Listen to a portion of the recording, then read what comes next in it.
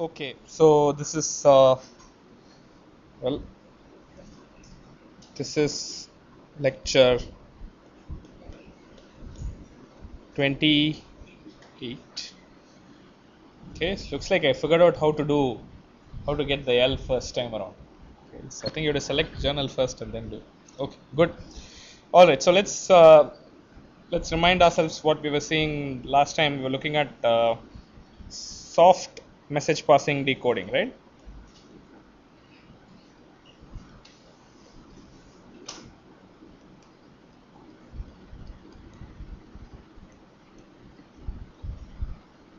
Okay, so this was uh, with respect to BPSK over AWGN. Okay, so the main uh, idea was the message or the number that is passed from bit node to a check node is going to be LLR of that bit node at every iteration. Best the best estimate of the LLR that bit node.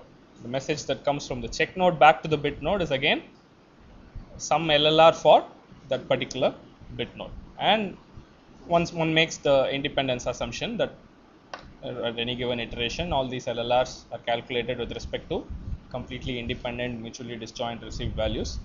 So you can deal with it like in the the, the way I way I wrote down. So you get two two simple update equations, one for the bit node and one for the check node. So let me re, let me write down how those update equations were. So the bit to check uh, uh, messages were something like this. Okay, so for the first iteration, what do you do? Okay, iteration one, you simply send yi. I think y was my notation for the received values. Okay, so received values are y1 through yn. These are received LLRs, right? Okay, received LLRs. Okay, so R, R1 through Rn is my received values. yi will be 2 by sigma square times Ri, right? So that's how you find the received LLRs. And in iteration 1, you simply send Okay, so I'm not going to write down the update equation for iteration 1. It's, it's, it's a little bit different, but it's just that the notation will be different and I have to go through and uh, do the same thing. So in iteration 1 step A, what do you do? Send yi, right? So bit i sends yi on all the edges, okay? And uh, step B, the check node will process the yi's, right? So that's some small difference there. But from iteration 2 onwards, we had a comfortable common notation in fact you can extend that to iteration 1 also. It's not a big deal but uh, uh, let's just write it for for these iterations. What would be the what was the notation? I said uh, u uh, where did i put l? Did i put l on top? Right? Ul uh, denotes a bit to check message. Bit to check uh, message and I had VL denoting the check to bit message.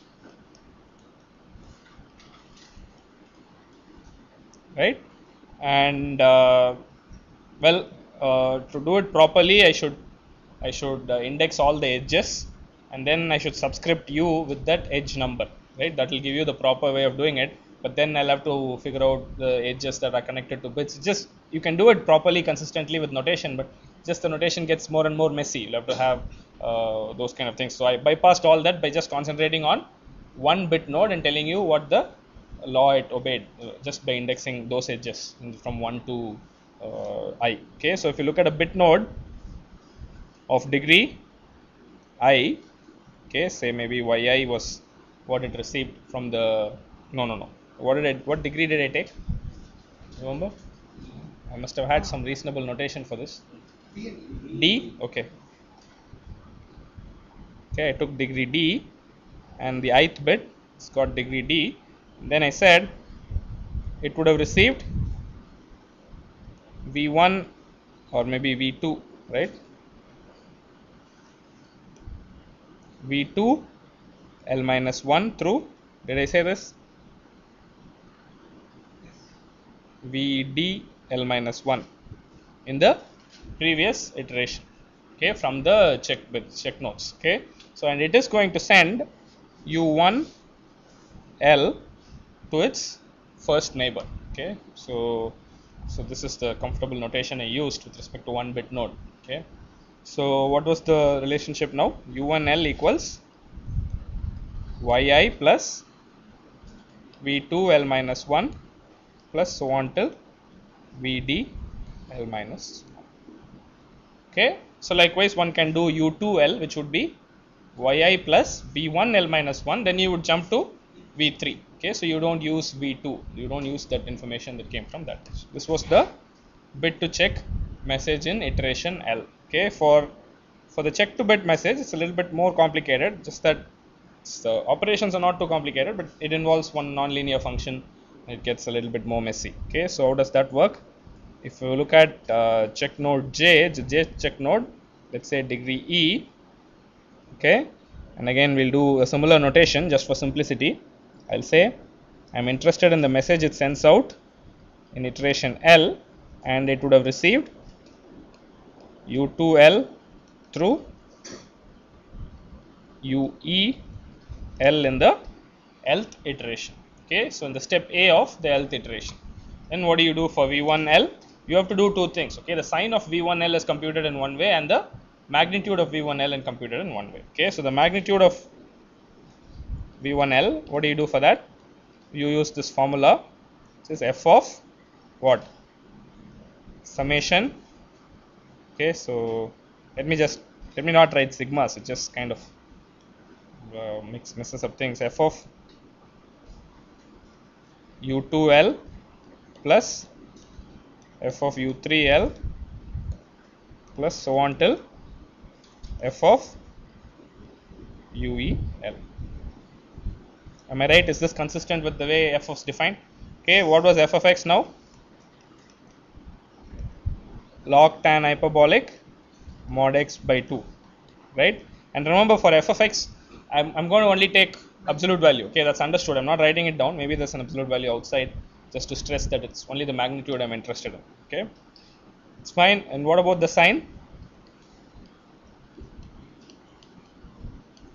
Is the sign of u2l product of the signs of the individual uh, messages okay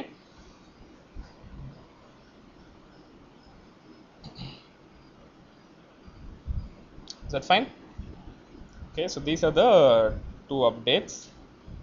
And uh, so the sign you can also think of it as uh, you can also evolve it with bits if you want. Okay 0 representing plus 1 and 1 representing minus 1 you can take XORs and do that. That's also fine.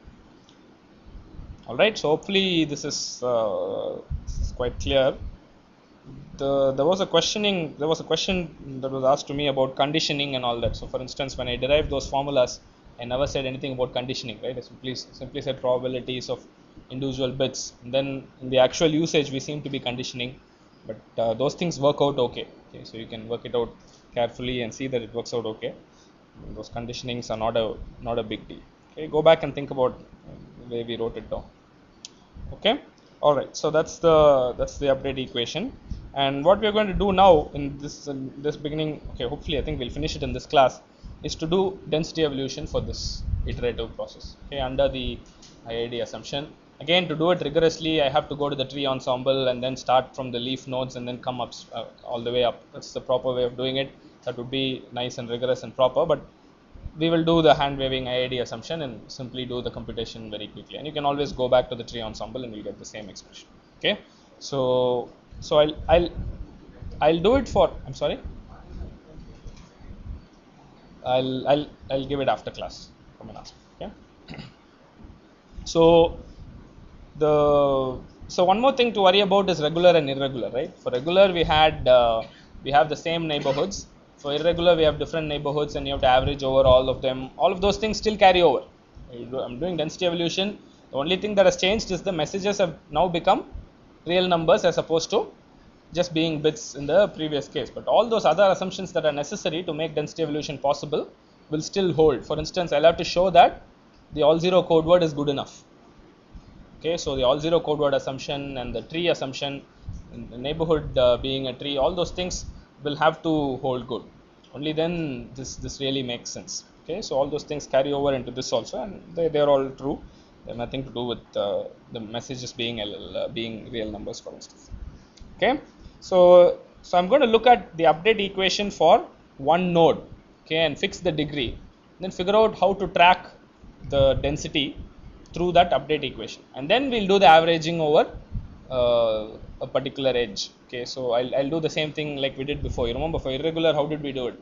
Fixed an edge and we said what's the probability that the edge connects to a degree d bit node on the left. Okay, that was what? Was lambda d. Okay, so then but but then you do the update only for fixing the degree to be d, given that the degree is d, and then you average over the whole probability to get your average uh, behavior over all codes in the ensemble. Okay, so we'll do the same thing here.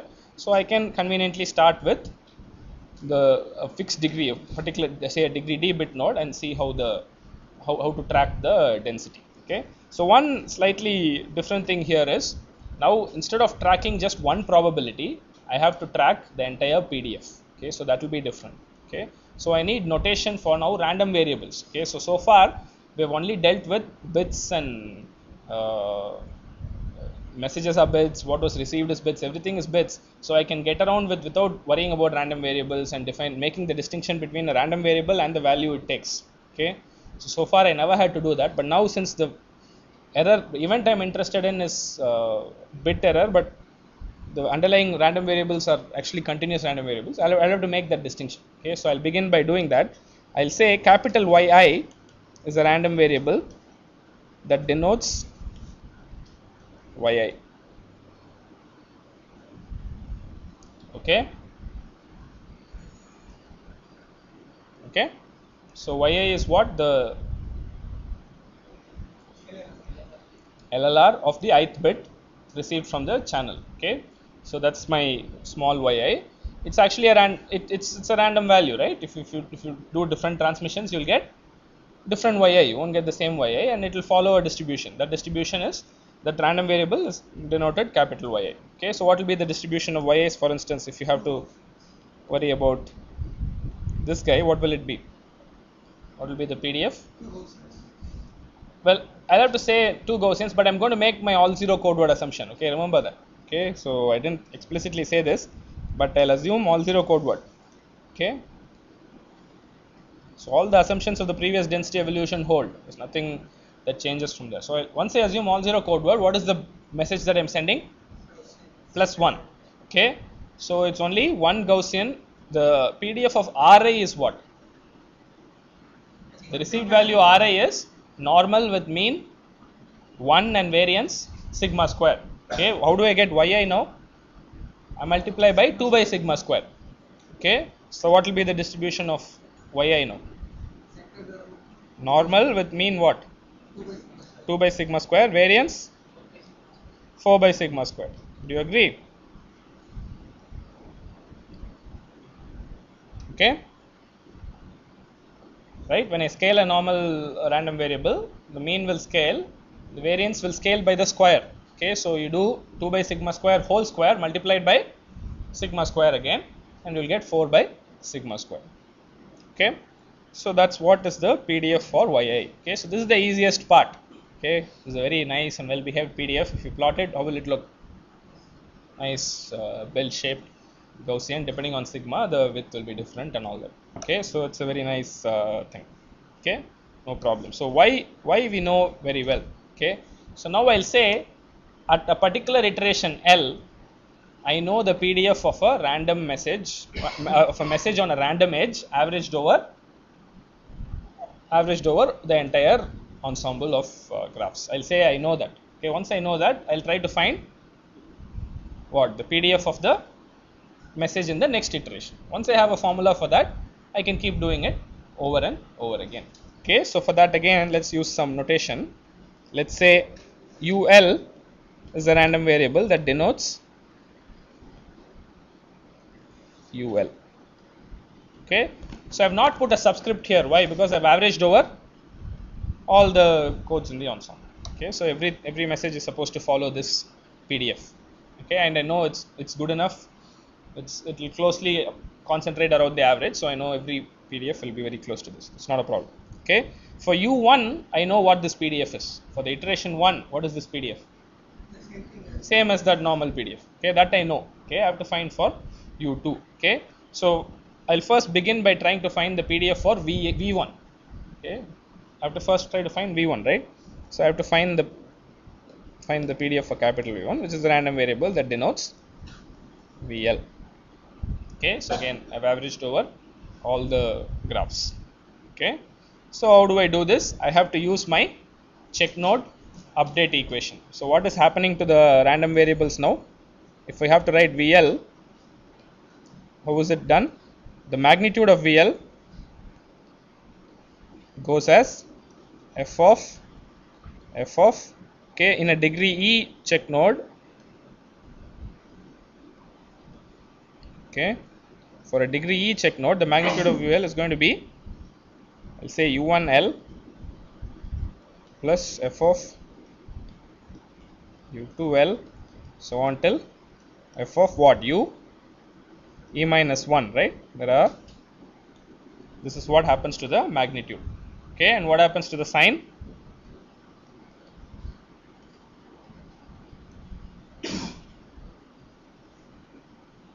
Is that a question?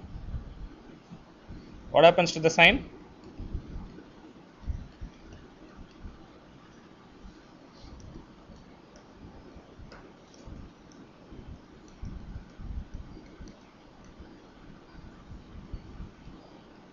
So what are these U1s, U2s now? Yeah, they're all IID distributed according to what? The same UL. Okay, they're all independent and identically distributed and they follow the same PDF of UL. Okay, so that's my assumption. It's based on the so many other things that I saw on the graph. Okay, so once I do that, I can do this. Okay, so now it's possible to find, okay, without too much worries. You, you can easily, well, not easily, at least theoretically, you know how to find the PDF of the left hand side now. How do you find the PDF for magnitude of VL? Okay, so you know the PDF for U and L and let it go through this transformation by f okay? And you know it's a monotonic nice transformation. So you can apply one of your standard jacobian formulas. You'll get the pdf for f of u and l. Then how do you do the summation? You convolve all those pdfs and then you run it through f again. So you'll have to do all of those okay? And you have to do it numerically. It's tough to have, get an analytical formula for that okay? So you do all that. You get the pdf for the magnitude of vl how do you get the pmf for the sign of vl it's only a pmf right Okay, so you have to find the PMF for sign of U1L. What is the PMF for that?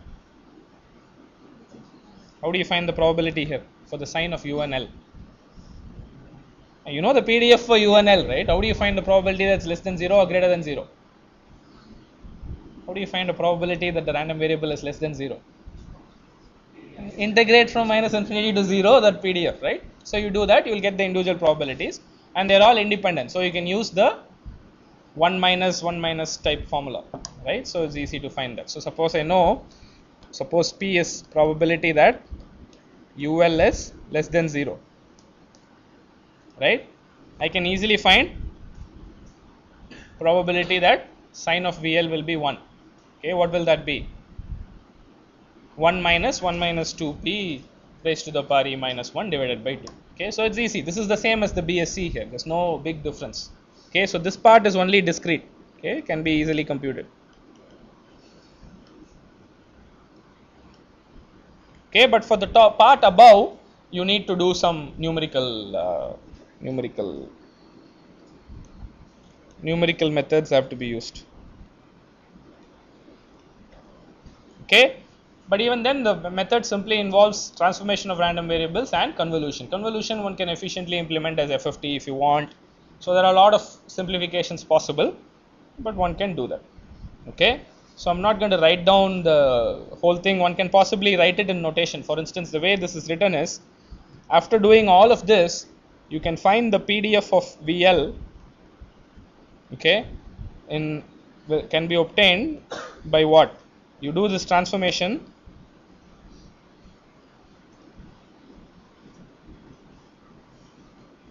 okay what is this capital f okay not it's not cdf i'm sorry yeah it's a transformation of random variables transformation of the PDF when the random variable goes through f. Okay.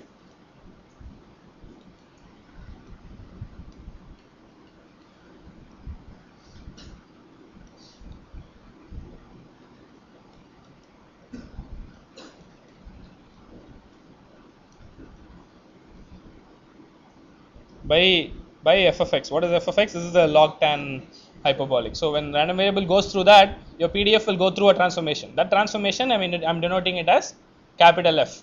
Okay, once I do that, what should I do? I should convolve this capital F of capital F of this with itself how many times? E minus 1 times. Okay, so I'll denote that as the convolution as E minus 1. Okay, so all of them are the same because I've assumed u1 to ue minus 1 are IID according to the distribution of u. Okay, so that is my that is guaranteed by my tree assumption and all that. Okay, so it's all independent. I've averaged over all the realizations, so it becomes independent and identically distributed. Okay, so I can denote it by this, and after the convolution, what should I do? Again, I do an f. Okay, so at this point, you should ask me one part of it is discrete, one part of it is continuous. How can you talk about the whole thing in one go, right? So it's theoretically possible if you read probability the right way. It's possible to do all these things with the CDF itself, right? You don't have to come to the PDF. I wrote down the PDF, but I can do the whole thing with the CDF. And if I do it with the CDF, it doesn't matter if partially it's discrete or continuous or the whole thing. Everything will work out properly. Okay, so imagine that this capital F is actually going through the CDF and maybe coming back. Okay, some such some such thing is happening okay? Okay so if at all you happen to read very advanced probability theory you'll see that it's also possible to do such things with pdf itself okay? But it involves some strange notions which which are probably not necessary. But if you read the book for instance modern coding theory you'll see they use some strange notation for those kind of pdfs it's okay we don't have to worry about it. Think of think of this capital f as a transformation of cdfs you do the transformation of cdf and then maybe you do some operation to it to come back to the PDF, right? But but the update happens in two ways. You deal with the sign differently and the magnitude differently. Okay, so that's the that's the thing. Okay, so I don't want to go into the details and show you how this works. I, will illustrate. I've, I've, implemented this in MATLAB, so I'll maybe illustrate this and show you how this transformation looks. It will look a little bit ugly, but at least theoretically, hopefully, the steps are clear. Okay, what you have to do is reasonably clear, right? So you know what the transformation of random variable will be. You know how to do convolution. You know how to do how to do this computation for the sign, and then you can put both these two together to get the PDF of u v. That also you have to do, right? One more step you have to do. Given the magnitude and the sign, you have to play around with it carefully and get the final total PDF. Once you get that, you know the PDF for VL. Okay. So going from VL to U, UL plus 1 is quite easy. It's not very difficult. Okay. The reason is the for a degree D check, degree D bit node, it's only summation. All you have to do is only convolution. Okay. But anyway, we are not done here. This is not the only thing, right? Yeah, you should average this over all the rho rho e's. Okay, so let's do that also. So if you do that, the PDF of VL, okay, will be obtained. Okay, I'm going to say equality, but remember this is all. This one needs to be careful when I say these things. But anyway, I'll say finally if you put everything together summation over e rho e capital F okay convolution e minus 1 what? Capital F of F UL okay? Given FUL I can find FVL using this fancy formula. Okay very implicit formula which assumes you know you're doing a lot of hard work with this capital F. Once you do that capital F, everything else will nicely follow. Okay, so I'll denote this whole thing as rho.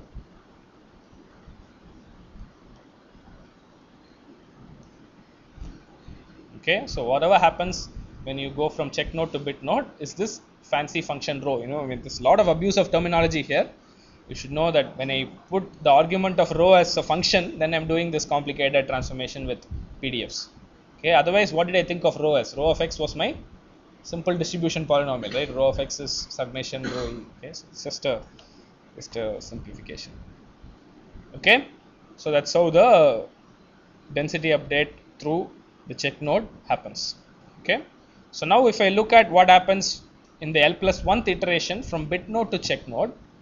Let me again look at a degree D bit node. Okay, what happens here is very very easy, right? What is happening? UL UL plus 1 is going to be equal to what? YI plus what? V1L plus V2L plus so on till V D minus 1 L. Okay, and what are these VIs? They are all IID distributed according to FVL.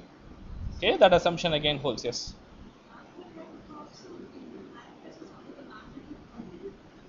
Yeah, I- yeah, I know, I know. I mean, but I'm going to say capital F actually denotes the whole thing. You're taking care to bring in the sign also later. You have to do that also.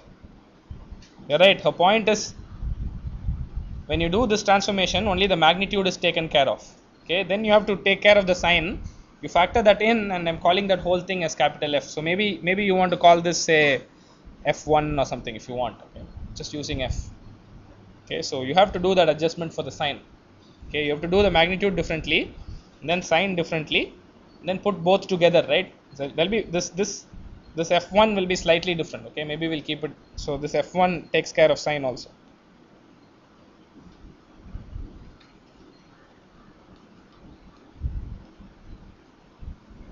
Okay, if you want to be very rigorous about it, you can do that. Okay.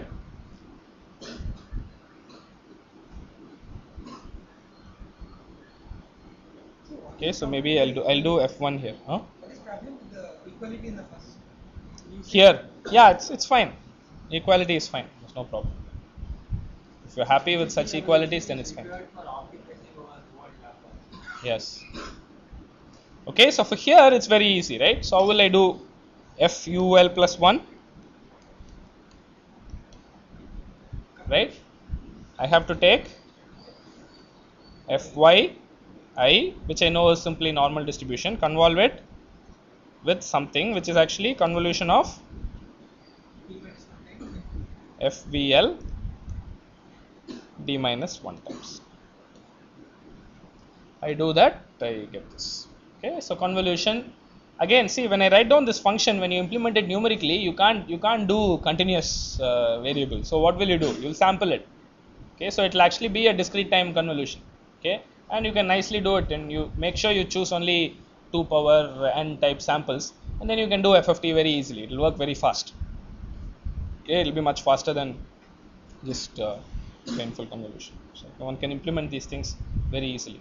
Okay, so you sample it at the right points, you will get the answer. okay. No, no, no, no, no. I should be careful here. Let me be careful. Here. I need averaging over D, right? So I forgot about the averaging over D. So let me write that down a little bit carefully here. I'm sorry. Okay, so I need to sum over D lambda D to get my proper uh, average. So that would be F U L plus 1. Sorry.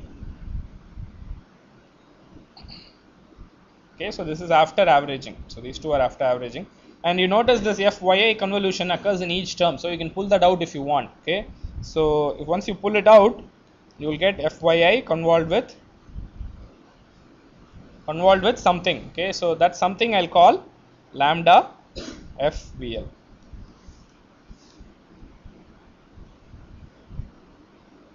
Okay.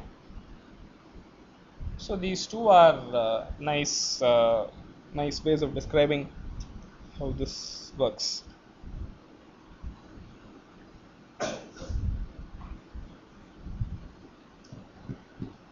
Okay.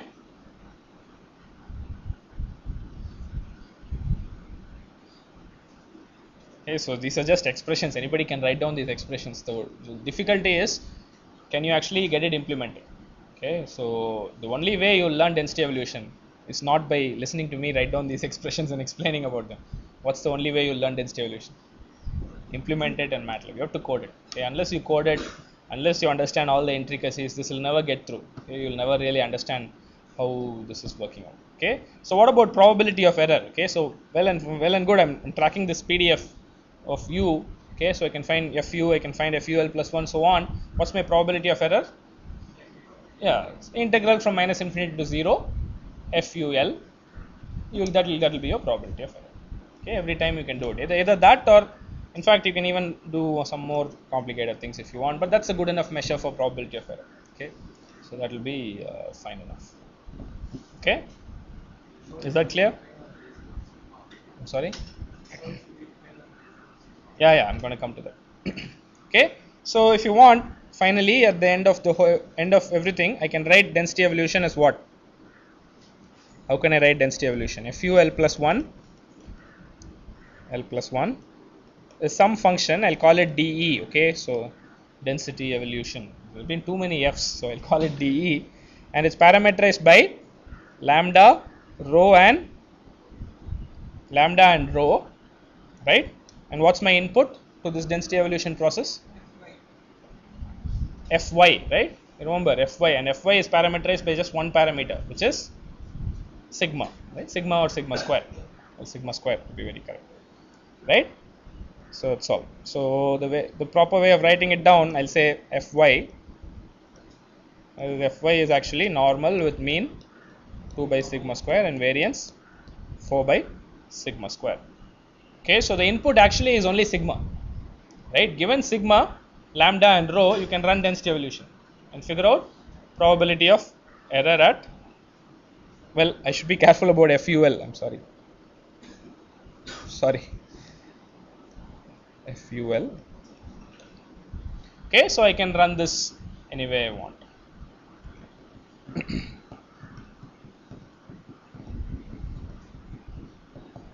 Right so what's probability of error?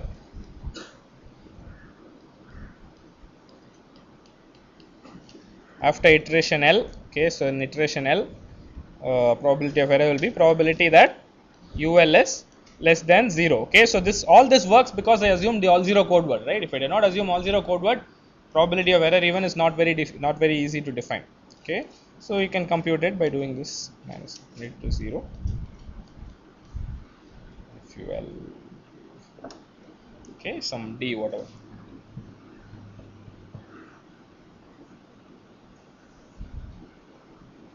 Okay so now you again make the argument about what can happen to this probability of error. Okay so probability of error in iteration l i'm sorry. Okay so as you increase l if you start with a particular sigma and lambda and rho as you increase l what can happen to probability of error? Again it's a bounded uh, function and it and it and is hopefully monotonically decreasing. Okay so it has to converge. Only question is will it converge to 0 or to a non-zero value okay again you can define the threshold sigma star as what? Yeah the supremum over supremum over sigma such that what? Probability of error well converges to 0 okay there will be a maximum sigma at which?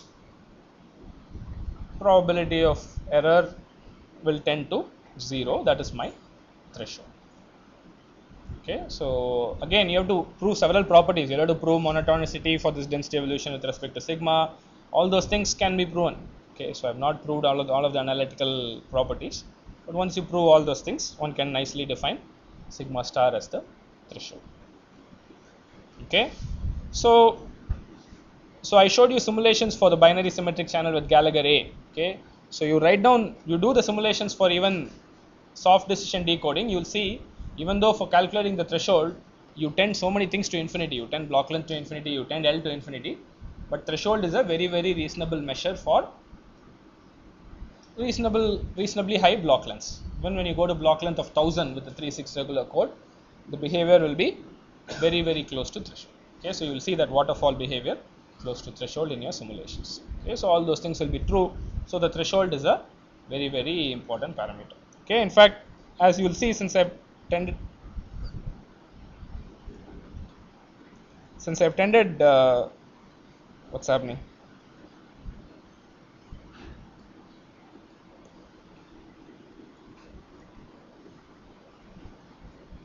I was told if I do this, it will come back again, but it's not going to come back.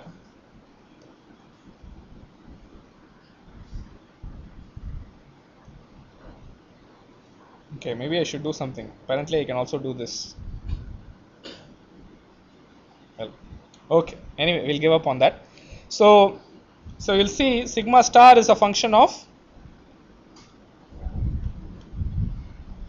function of what? Lambda and rho. Okay. So once you fix lambda and rho, you'll have a particular sigma star. Okay, and then you can do the same optimization once again over all possible uh, lambda and rho with a particular rate. You find that lambda and rho which has the maximum sigma star, okay, which can uh, which has a threshold to be maximum value possible. Or you can do the reverse optimization, which is for a for a particular threshold, what's the maximum rate that is possible. Okay, so all these optimizations one can do to optimize over lambda and rho. Okay, and the comparison will be how, how close will the threshold be to the capacity of BPSK over AWGN, which can also be uh, looked at. Okay, so again, I mean, these things are easy to write down, and when you read them, they'll all make sense, and uh, they'll be very wonderful to listen listen to and all that. But only way this will sink in is if you try to implement it. Okay, and it's not too hard. You can do this in MATLAB without uh, too many uh, complexities. So one can one can uh, implement this. Okay. So the next thing I want to do is uh, I want to show you. What do I want to show you? I want to show you first. Let me show you an illustration of density evolution. I'm going to try to open up MATLAB, but uh, will that do something nasty to my thing or one never knows. Okay. So if it becomes too painful, I'll close the recording. But in case it doesn't, let's see what happens.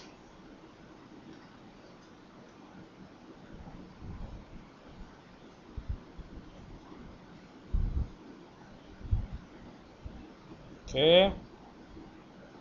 Okay, so how can I run programs and all that? I can't type easily, no? It's going to be a pain. And then do that, huh? So will you do this? Open. Okay.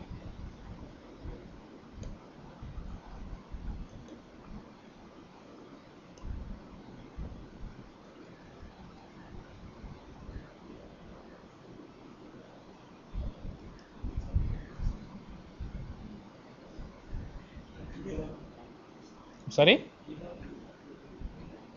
I'm sorry? just debug it.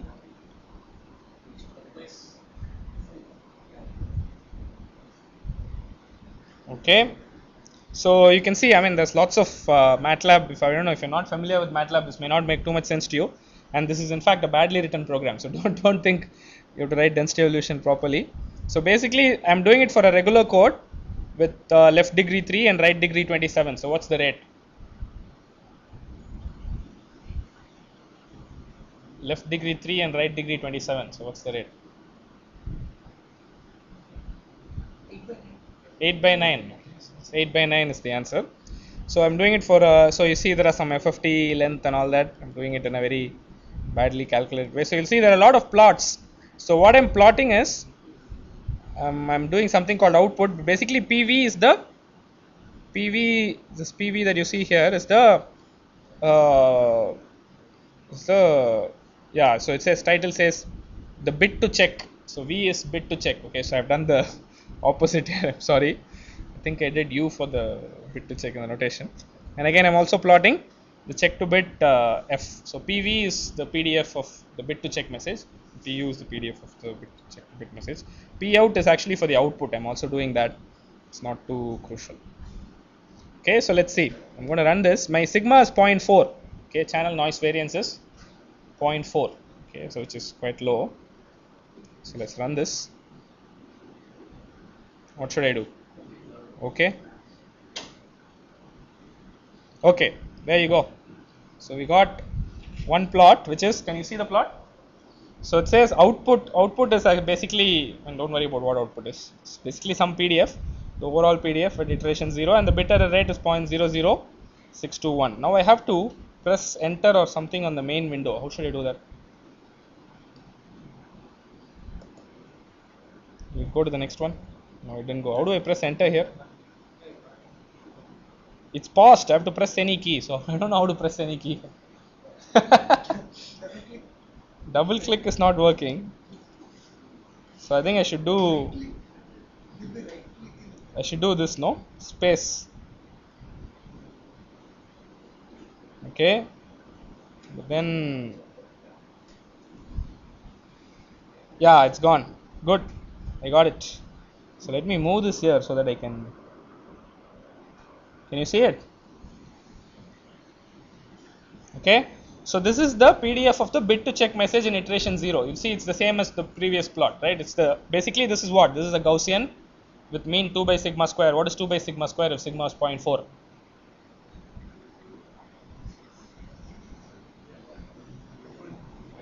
Yeah, so you see the mean is around 12 point something, which is correct. Okay, so I've not made any mistake. If you want, you can check with the variance also. So that's the that's basically the input uh, PDF. Okay, so I'm going to press enter. Oh my goodness. Oh, okay. I know what I have to do. I have to run something else now. How do I run something else? Or how do I load a? How do I run something else? Again, open.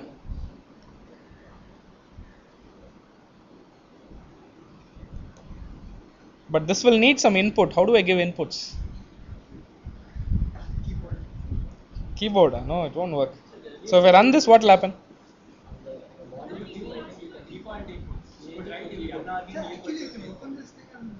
Oh, oh, oh. I'll do this, huh? Wait, wait, wait. Let me see. Maybe what will happen if I run this? be that different. It said somewhere. It gives some service. Okay, so I have to put the. Okay, so let me try this. Okay, maybe I'll try this. Oh my goodness. No, no, no, no, no. This won't work. This won't work. This won't work.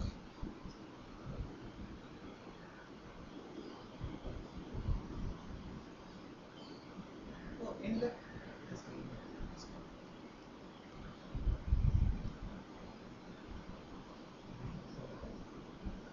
You know what I can do? I can do one more thing. Let me try this. Think if this works, it will be much simpler.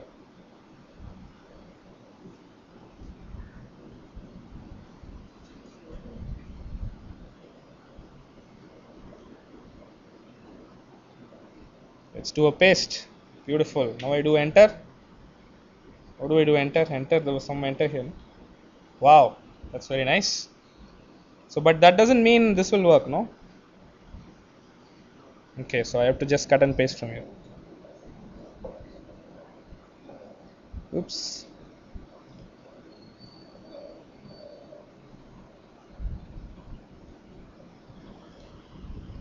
A major experiment in how do I do close brackets? Semicolon. Okay, this is wonderful.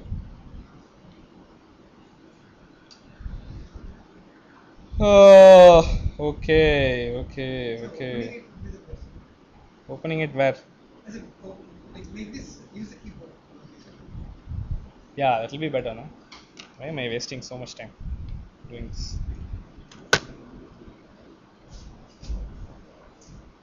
It's nice to see this happen, but looks like uh, I can't see my mouse. Okay, there it is. Oh, it's busy. We should stop the recorder. Because recorder is Stop the recorder. Huh? Yes. Okay, let me stop the recorder.